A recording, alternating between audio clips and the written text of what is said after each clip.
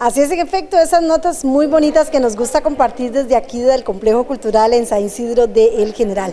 Un grupo de adultos mayores ya esta semana concluye eh, su participación en estos talleres que se llevan a cabo y que comenzaron precisamente desde octubre, que los motivan a realizar diversas manualidades, a compartir, a ser amigos, a comer, ¿por qué no? También, bueno, es eh, parte de lo que buscan precisamente en gestión cultural de la municipalidad de Pérez Celedón, que esta población también tenga un espacio eh, donde puedan llevar a cabo una serie de actividades. Propiamente acá están realizando eh, algunas artesanías, propiamente ya con decoraciones navideñas. Pero, ¿qué dicen esta población adulta mayor? ¿Qué ha significado para ellos ser parte de este tipo de talleres? Aquí escuchamos sus voces.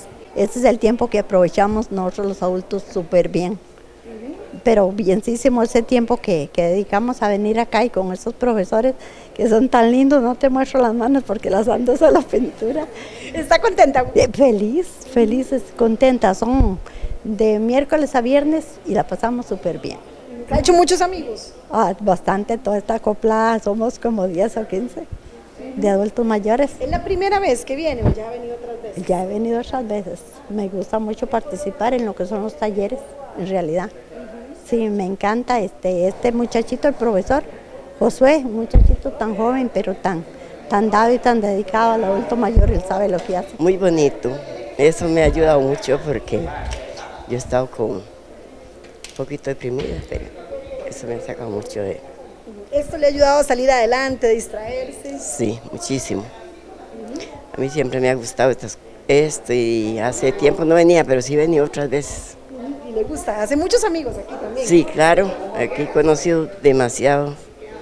Cada vez que vengo conozco más y más, porque no solo todas vienen la misma vez, sino que un, un curso conozco a unos y en otro a otros y así. Wow, ha sido algo magnífico porque ya uno después de que se pensiona eh, queda sin muchas cosas que hacer en la casa. Bueno, ahí siempre hay muchas cosas que hacer, pero resulta que uno se olvida de la parte mental, de, trabajar ciertas cositas que a uno, bueno, eh, no pudo hacerlo durante el tiempo que estuvo trabajando.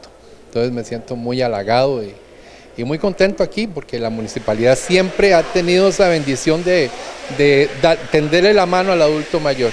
Entonces, ojalá que más caballeros también se integren, ¿verdad? Oh, claro, yo invito a muchos caballeros que se han llegado a pensionar que se integre a estas eh, manualidades, porque vieras que enriquece bastante y lo hace a uno recordar ciertas cosas, por ejemplo, utilizar las manos en cosas pequeñitas, que es muy importante. Ah, este taller a mí me ha servido un montón, porque como yo vivo solita, entonces ya y me ha servido para hacer amistades, para usar las manos, que eso es lo importante. aquí termina el arbolito. Ajá. Bueno, digo yo que ya lo terminé.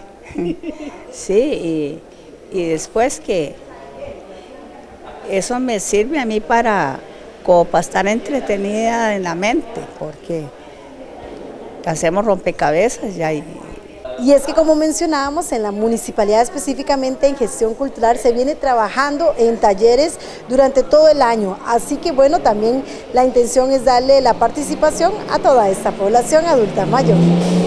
Nosotros todos los años en el mes de octubre, en celebración del mes del adulto mayor, ¿verdad?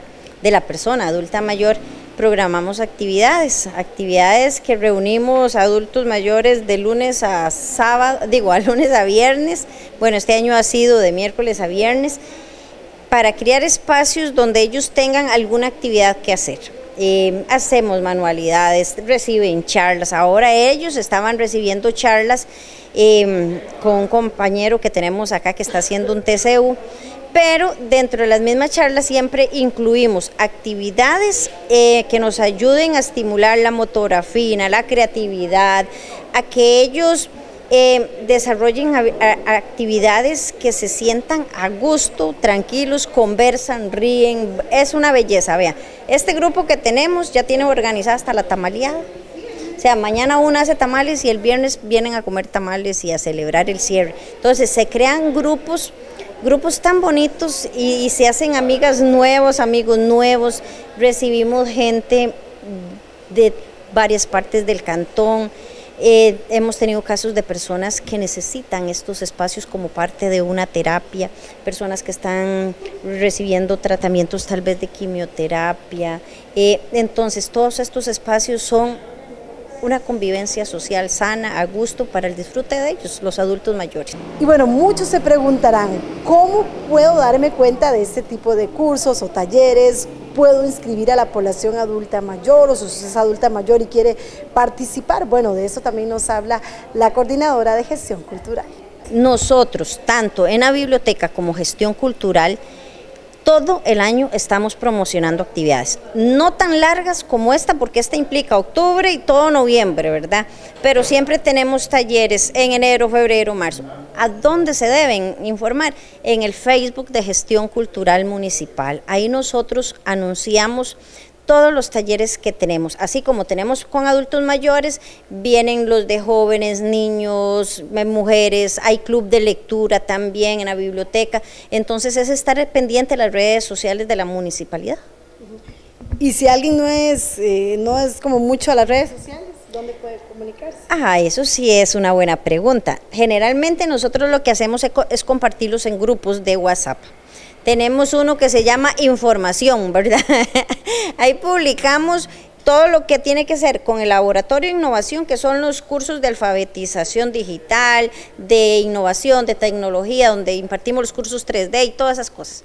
Pero ahí también estamos mandando información de todos los talleres que estamos, porque ya es un grupo muy grande.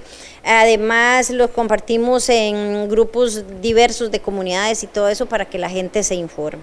Así que a través de las diferentes plataformas digitales de la municipalidad o bien acercándose acá al complejo cultural, se puede obtener información información para que la población adulta mayor, o bien como lo indicaba eh, la funcionaria, eh, prácticamente hay diversos eh, talleres y cursos que ya se están habilitando en las diferentes áreas para los niños, los jóvenes y la población también adulta mayor. Así que a través de la página en Facebook de Gestión Cultural de la Municipalidad, ahí puede encontrar muchos detalles y también en la página en Facebook del municipio sobre todos esos talleres tan bonitos y bueno, en el caso específico de este que va dirigido a la población adulta mayor y como ustedes escucharon bastante motivados. En cámaras Henry Estrada, Carmen Picado Navarro les informa desde el Complejo Cultural.